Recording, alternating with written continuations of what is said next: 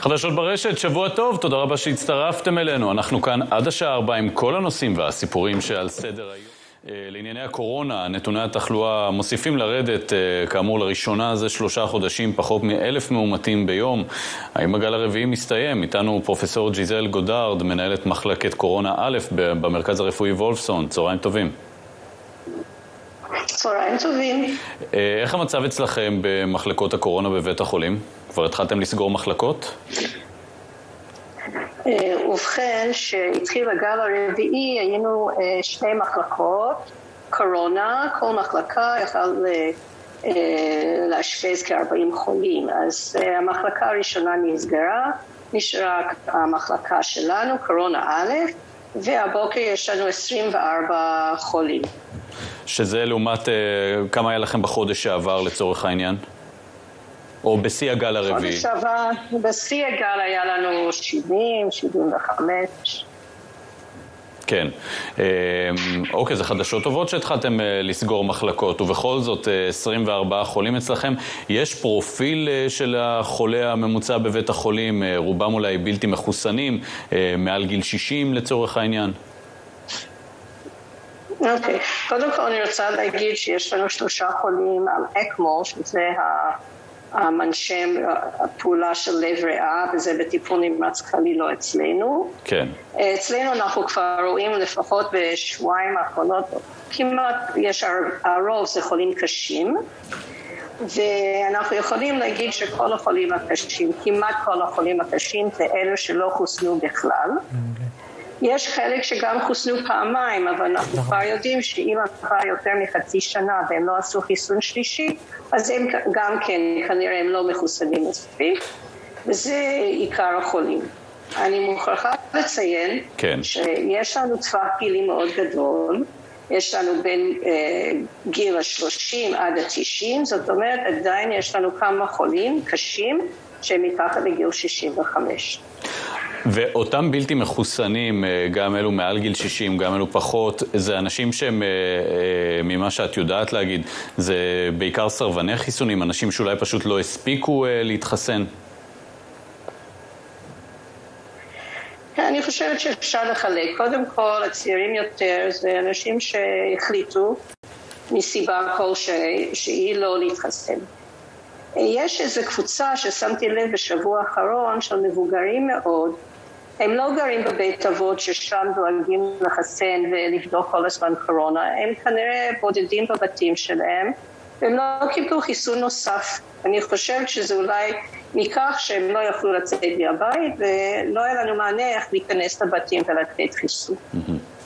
אה, ושאלה, הגל הזה, את יודעת, הוא השונה מכל שאר הגלים בזה שבו לא היה סגר, כלומר, אה, משק, הכלכלה הייתה יחסית פתוחה. רציתי לשאול אולי אם, אם אפשר עכשיו להסתכל קצת לאחורה על הגל הזה יחסית לגלים הקודמים. איך זה, האם הייתה השפעה לדבר הזה? זאת אומרת, האם אה, ראיתם יותר עומס בסגר הזה בהשוואה לסגרים אחרים?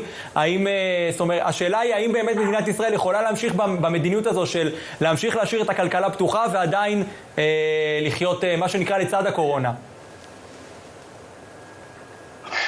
אני חושבת שאפשר להמשיך אה, בדרך שנבחרה כאן. שוב פעם, אני אומרת, בכל התקופה הזאת אני אחראית על קורונה א' מתחילת אה, אוגוסט. אנחנו כמעט ולא ראינו חולים שהם חוסנו פעם שלישית. כל החולים היו חולים שלא חוסנו, או שחוסנו פעמיים, אבל פג התוקף כנראה של החיסון. אז אם כולם לוקחים אחריות ועושים את החיסון השלישי, אין סיבה שאי אפשר להמשיך בדרך שעשינו עד עכשיו. אה, פרופסור גודארד, אנחנו, לתחושתך, אה, אנחנו באמת יוצאים עכשיו אה, מהגל הרביעי? לא, אני לא אומר נפרדים מהקורונה, אבל זה הסוף של הגל הנוכחי? תראה, יש דעיכה, אנחנו רואים פחות קבלות, פשוט יש לי 24 חולים, ורובם הם קשים. אז כן. אנחנו כרגע רואים הרבה יותר קשים, היו לנו בהתחלה גם נשים בהיריון, אחרי לידה זה אנחנו כבר לא רואים, החולים הקלים, אם הם יתאשפזו, אז הם בדרך כלל משתחררים די מהר, אז נשארנו עם הקשים. כן. אני לא יכולה להגיד שאנחנו בסוף הגל, שיהיה לי רק ארבע חולים, אז אולי, ותזמין אותי שוב, אז אולי אני אוכל להגיד זה כבר הסוף. קודם כל, בשמחה, נשמח לארח אותך בתוכנית פעם נוספת. אני מקווה כמובן עם שאלות על חדשות טובות יותר. ובכל זאת, בנוגע לגל הנוכחי, איך את חושבת שישראל צריכה לצאת ממנו? האם בגלים הקודמים לדעתך גם הקלנו ראש? אולי פתחנו מהר מדי את ההגבלות? תראה, אנחנו כבר כמעט שנתיים במחלת קורונה. אל תשכחו, בהתחלה אף אחד לא ידע מה זה. כן. גם הצוות הרפואי, אנחנו לא ידענו איך לטפל. אנחנו, אנחנו היינו צריכים ללמוד תוך כדי. היום אנחנו במקום אחר, יש לנו פרוטוקולים, אנחנו יודעים איך אה, לטפל, אז אני לא חושבת שאפשר אה, בדיוק להשוות לגלים הקודמים. בגל הזה אנחנו ידענו יותר איך לטפל, היו לנו תוצאות אולי קצת אחרות מהגלים הקודמים. ואנחנו מקווים שזה הגל האחרון, אף אחד לא יודע. עם כל גל אנחנו לומדים איך להתגבר, איך לטפל, אבל אין ספק שאנשים, אם אנשים יתחסנו, אז התחלואה תהיה פחות. אני לא חושבת שאפשר לתת הסבר הגיוני למה שקרה עם הדעיכה, אם אנחנו לא מתייחסים לכך שכל כך הרבה אנשים לקחו את החיסון השלישי. אין הסבר אחר. פרופסור גודרד, עוד שאלה, כמי שנמצאת מה שנקרא בחזית הקורונה והטיפולים ומכירה ככה יותר גם את הניסויים והדברים ש... שעומדים אולי לקרות, יש איזשהו חדשות בתחום הזה של הטיפול בקורונה? אולי תרופה למחלה הזו? אולי טיפולים אחרים שככה באמת יאפשרו להציל יותר אנשים, לשפר את הטיפול במחלה? אז דווקא יש שתי תרופות, אחד זה תרופה דרך הווריד, והשני שעומד להגיע זה כדור שאפשר לתת לחולים הקלים, זאת אומרת, אלו יהיו טיפולים מחוץ לבית חולים, על מנת אה, אה, לנסות למנוע שאנשים יגיעו במצב קשה. אז אחד התחילו כבר, זה נקרא רג'ר, רג'רון, אז מי שכבר מוגדר כקל, אבל יכול לדרדר למצב יותר קשה, אז הוא זכאי לקבל, יקבל את זה דרך קופת חולים.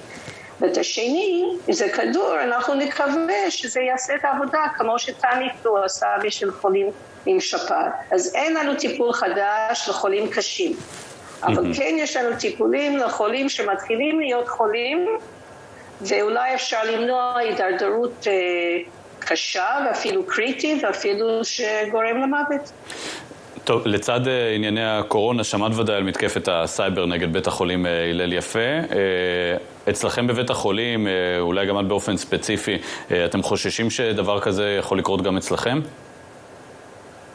יש הוראה של משרד הבריאות שבכל בתי חולים הממשלתיים אנחנו צריכים להיות באיקון, בכל רגע הם יכולים להודיע לנו שיש מתקפה, אנחנו מקווים שלא, ולוקחים את כל ה...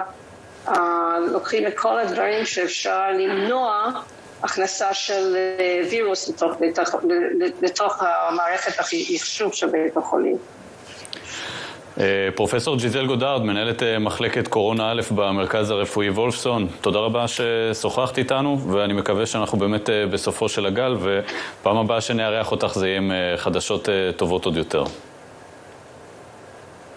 תודה רבה. אה,